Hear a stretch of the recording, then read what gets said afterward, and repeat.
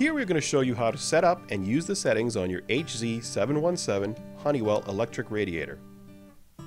This heater requires some assembly. Attach the wheelbase to the bottom of the heater with the included U-bolts and wing nuts before operating. It is important that the wheels are attached to the bottom of the heater. This heater creates convection heating by passing warm oil inside sealed metal columns. It is quiet, gradual heating. As the heater warms up, the oil may naturally expand and make a slight ticking sound. This is normal and will stop once the oil has reached an optimal temperature. First, make sure the heater is plugged in. This heater has two constant heat modes, or you can set the thermostat to four preset comfort settings. Turn the heater on by pressing the power button. The heater will always start in the high constant heat mode, where high will blink in the display three times.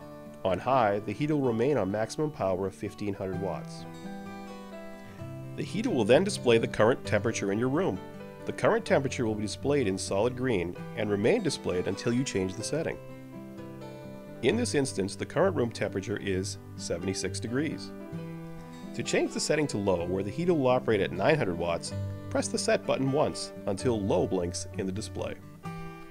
To use the thermostat and choose your desired comfort setting, press the Set button to choose 65, 70, 75, or 80 degrees. The chosen desired temperature will blink three times in the display, and then the current room temperature will display steadily. This heater is equipped with many safety features, one being a tip over switch which disables the heater if tipped in any direction. Make sure you are not tipping the heater while using the settings, or the heater will remain off. To use the timer function, press the timer button and choose 2, 4, 8, or 12 hours.